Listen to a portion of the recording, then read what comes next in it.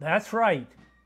Captain Eric Chetwynd of Colonel Bailey's 2nd Massachusetts Regiment mustered and drilled his regiment on that very same location where on April 19, 1775, 164 Mendon militia had gathered. Being warned about the shot heard round the world, Mendon's brave threw down their farm tools and rushed to the center of town. As part of a full day's revolutionary encampment and reenactment sponsored by Mendon's 350th anniversary committee, approximately 150 or so onlookers enjoyed the historical reenactment at Founders Park and the encampment at the town field across the way. This snippet of Mendon's historical past portrays the significance of little old Mendon's involvement with America's fight for liberty. Early on the morning of April 19, 1775, Mendon residents reacted to the call, a call they had nervously anticipated. But were they ready? For months, the men had been preparing for battle. They mustered at one of the three Mendon training fields used to prepare themselves.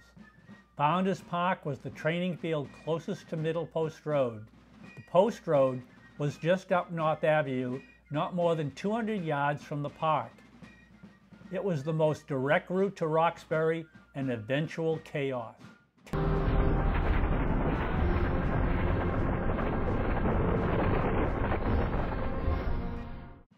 Naturally, they chose Founders Park to prepare their weapons, perform last-minute drills, and then file off to join other ragtag farmers engaging the Redcoats.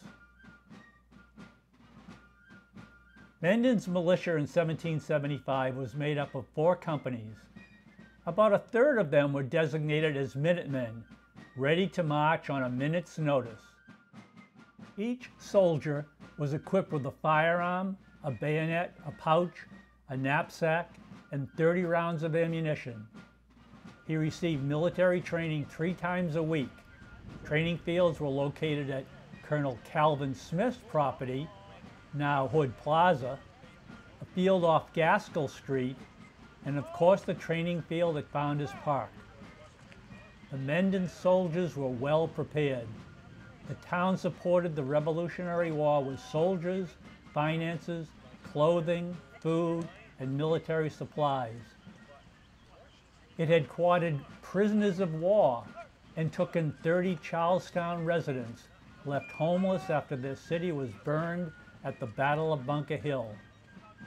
It was a post-road stopover for military units, including Nathan Hale and his troops, who had breakfast at Amidon Tavern in January of 76.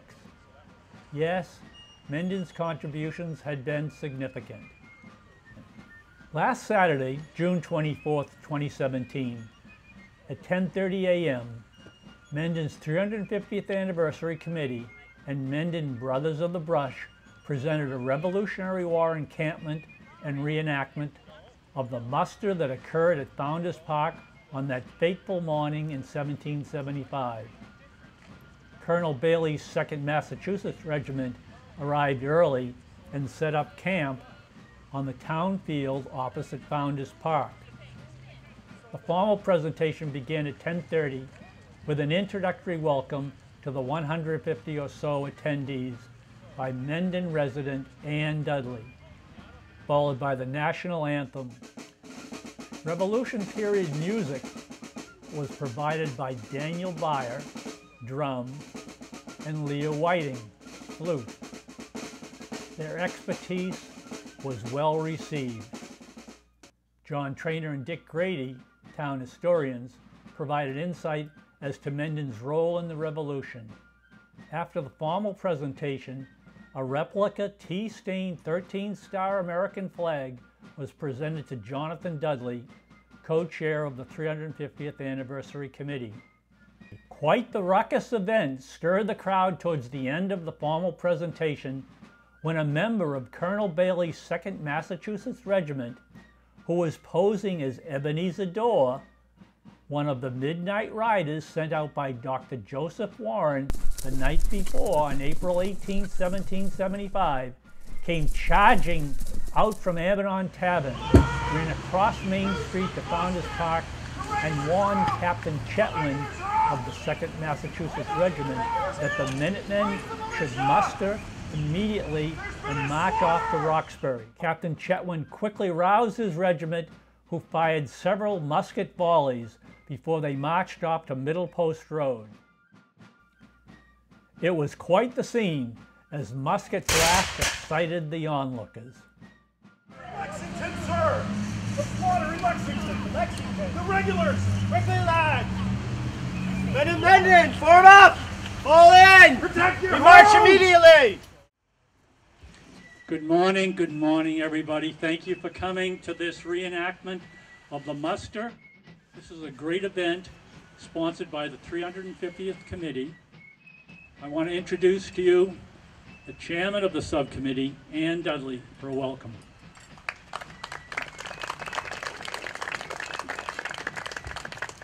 Oh, good morning. It has become a better morning, I would have to say. The prayers were answered. On behalf of the Mendon 350th anniversary, we welcome you to Founders Park, one of the most honored places in our town's history. It was here in the 1660s where Joseph White's saw pit was a place where logs were cut into planks for our forefathers' first houses. The first meeting house was built in 1668 right here where we are standing. This building was a center of life for the new frontier town, where life was a daily struggle for survival.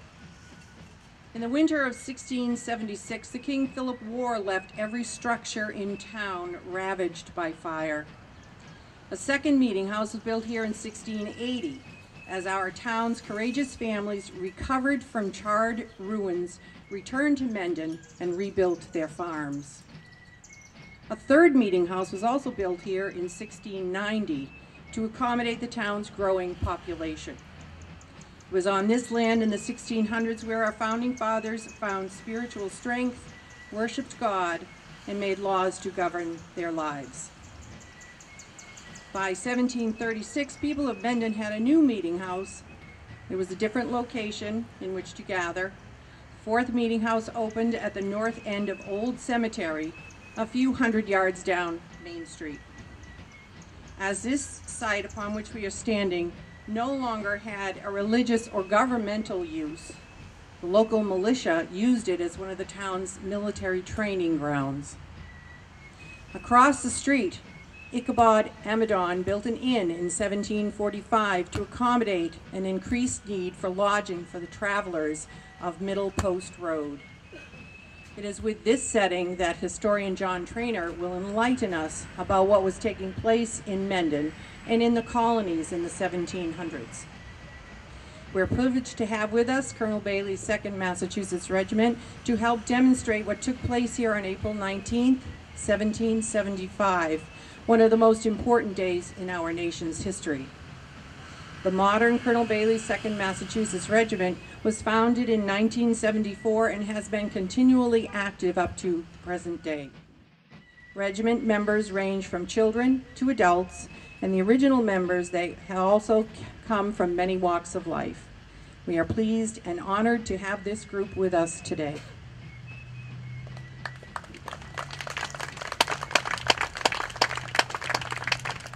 Now, if you would please look to our flag for our national anthem, followed by a moment of silence for all of our fallen heroes.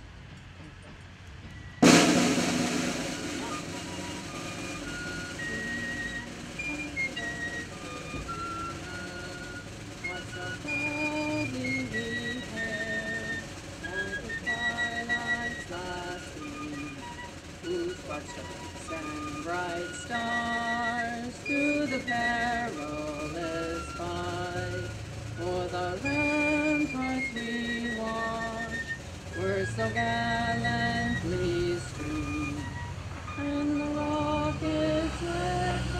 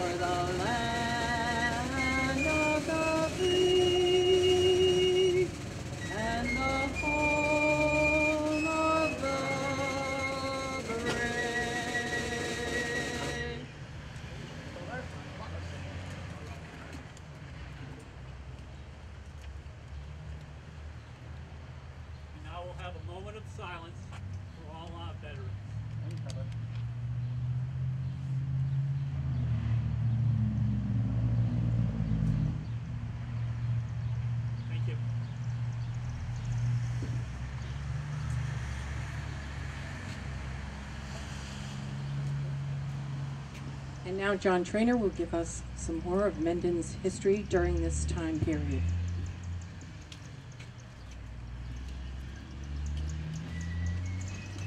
Thank you again, folks. This is a special, special day, a special place. You're standing at Founders Park. Just a wonderful experience. If you look all around, you'll see the signs, you'll see the things that uh, represent what happened here during throughout throughout the uh, the years of, of. But there's a lot of there's a lot of history that we should go over, and uh, it took a, it took a while for me to cut this down to less than two hours, but I've got it close to that now. So uh, the chairs will be coming soon. I needed to find the shorter version. By the rude bridge that arched the flood, their flag to April's breeze unfurled. Here once the embattled farmers stood and fired the shot heard round the world. Concord Hymn, Ralph Waldo Emerson. Ralph Waldo Emerson's words remind us that April 19th is Patriots' Day, a day that calls to mind Paul Revere's ride, the Old North Church, and the battles of Lexington and Concord. The town surrounding Boston in 1775 had been eagerly preparing to avenge the acts of Parliament that had closed the port of Boston and shut down Massachusetts state government and placed it under British rule. General Thomas Gage became the new governor. One of his rules was that no towns could conduct town meetings without his permission. In the spirit of rebellion, the towns brazenly defied General Gage. They replaced the dissolved legislature with a provincial congress and communicated freely through committees of correspondence. Town meetings were held in many towns in outright defiance. One of those towns, 30 miles southwest of Boston, had leaders who were closely acquainted with the leaders of the Sons of Liberty, Mendon's own Sons of Liberty. The cries for freedom from tyranny that came from Boston and Faneuil Hall were echoed at town meetings in this small patriotic farming town that clamored for independence. It was our town. The people of Mendon were active participants in the events leading up to the American Revolution. On March 1st, 73, voters supported and endorsed 19 resolutions from a letter from the Sons of Liberty denouncing the injustices of Great Britain for denying them their rights and liberties. They formed a committee of correspondence by town meeting vote in 74 in order to share ideas with other towns. Mendon elected Joseph Dorr to represent Mendon at a meeting of the Provincial Congress in Concord. The Congress authorized towns to increase their stock of weapons, ammunition, and military supplies. Mendon patriotically obliged. In reference to that, we of course had uh, our Mendon Munitions Depot down on Providence Street, remnants of which still exist. Mendon's militia in 1775 was made up of four companies that included 164 men. About a third of them were designated as Minutemen, ready to march on a minute's notice. A third, the young, energetic, vibrant ones, the old timers, were just the Mendon militia. Each soldier was equipped with a firearm, a bayonet, a pouch, a knapsack, and 30 rounds of ammunition. He received military training three times a week. Training fields were located at Colonel Calvin Smith property, Hood Plaza, and a field off of Gaskell Street, and this training area right here at Founders Park. The soldiers, the Mendon militia, were well prepared for combat. On April 15, 1775, the Provincial Congress became aware that General Gage was preparing to send British soldiers to Lexington to arrest the ringleaders Sam Adams and John Hancock, and then move on to destroy ammunition supplies allegedly hidden in Concord. It was voted to secretly relo- relocate the ammunition in nine remote towns, one of them being Mendon, of course. In response to the shot heard round the world, Mendon's soldiers mustered right here at Founders Park and marched on to Boston by way of Middle Post Road. Middle Post Road, which is just beyond the stone wall beyond that field, and was the, the, the first highway in North America. Town supported the Revolutionary War with soldiers, finances, clothing, food, and military supplies. It quartered prisoners of war and took in 30 Charlestown residents left homeless after their city was burned at the Battle of Bunker Hill. A lot of those Charlestown residents certainly quartered at Amadon Tavern. It was a post road stopover for military units, including Nathan Hale and his troops, who had breakfast at Amadon Tavern in January of 76. The most famous soldier to be born in Mendon was Alexander Scammell, who was born in 1744 near the site of Crossroads, the Larches, off William Street, now Milford. At Valley Forge, he was named by George Washington to be, to be the Continental Army's Adjutant General. He was mortally wounded at Yorktown in 1781. Mendon's contributions had been significant.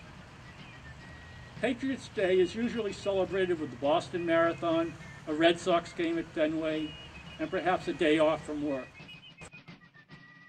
Reflecting on that eventful night of April 18, 1775, Dr. Joseph Warren rallied the Sons of Liberty and sent out his midnight riders to warn the countryside that 700 redcoats would be marching to Lexington to carry out their plan. Paul Revere and William Dawes went on the northerly route through Charlestown, Medford, Somerville, and Arlington, and then on to Lexington. Another lesser known midnight rider, Ebenezer Dorr, first cousin to Mendon's own son of liberty, Joseph Dorr, ventured out on a southwesterly direction. He raced out of Boston using the Dedham Turnpike to Mendon and the Middle Post Road. Likely, it was Ebenezer Dorr who brought the news to Mendon and to Amadon Inn. He was a cousin of Mendon's patriot leader, Joseph Dorr. Ebenezer Dorr.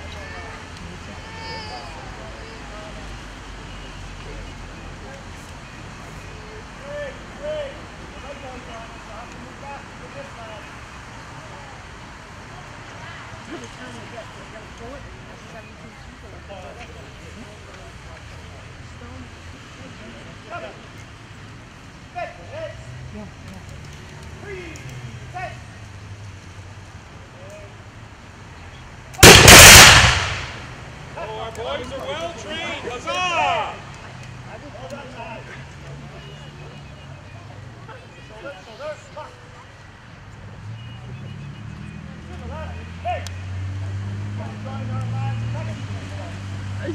Guess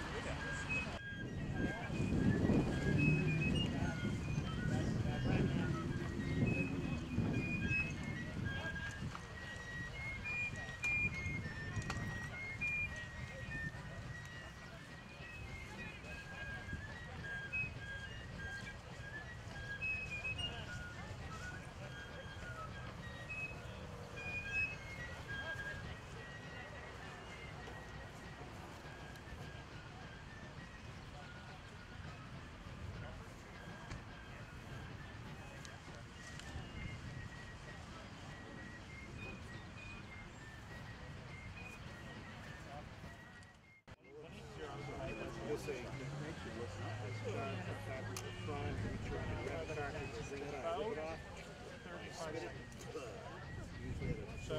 that's how fast they can reload and fire it. That's very important because all the time that you're standing there in range watching the, the enemy, they're firing at you. And then they march closer.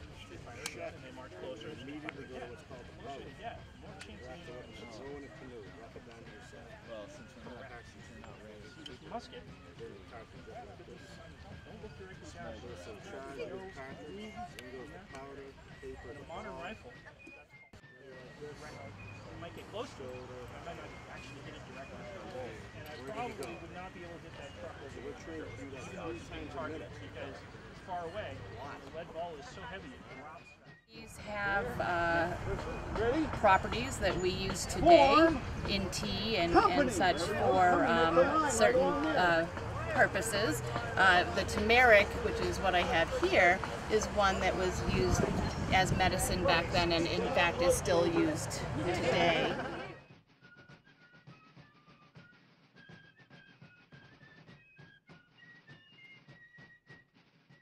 What I'm wearing is a, a gown that was made from the English gown pattern.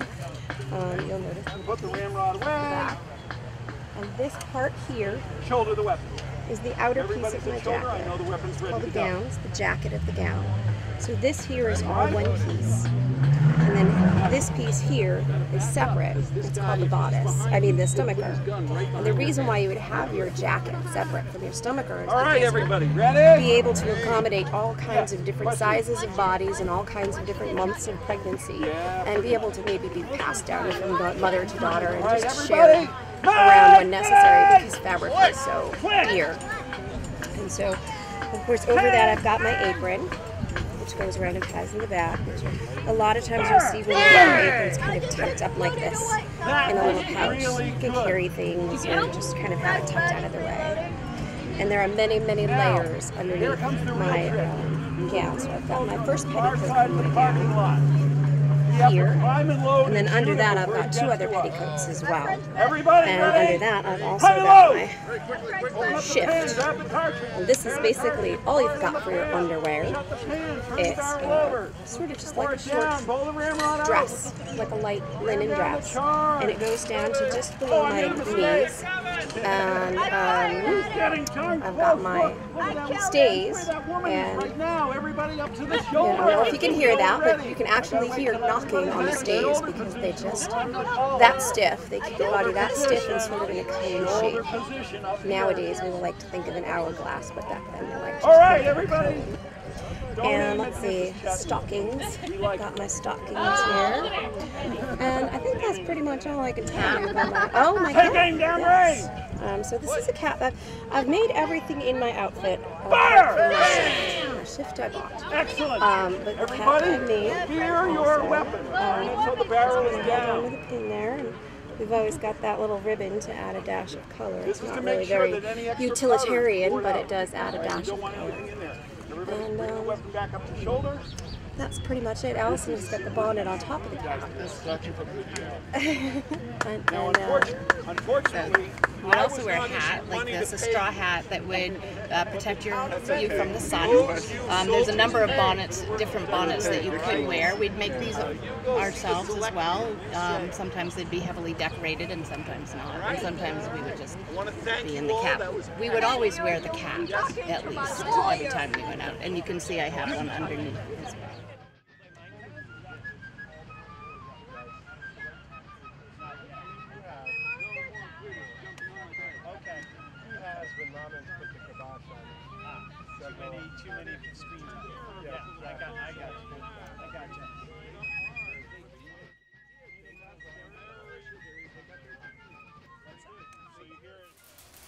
Despite intermittent rain showers, onlookers fully enjoyed this long-awaited event. From the muster reenactment to the afternoon encampment activities, there was plenty of history to experience. Especially rewarding was the excitement from the children who loved the loud musket volleys. They also loved the learning of rudimentary colonial living and musket handling. Thank you to the 350th Anniversary Committee, Colonel Bailey's 2nd Massachusetts Regiment, Dan and Leah, and Ann, Dick, and John. Events like this muster reenactment ensure the continued appreciation for Mendon's historical past.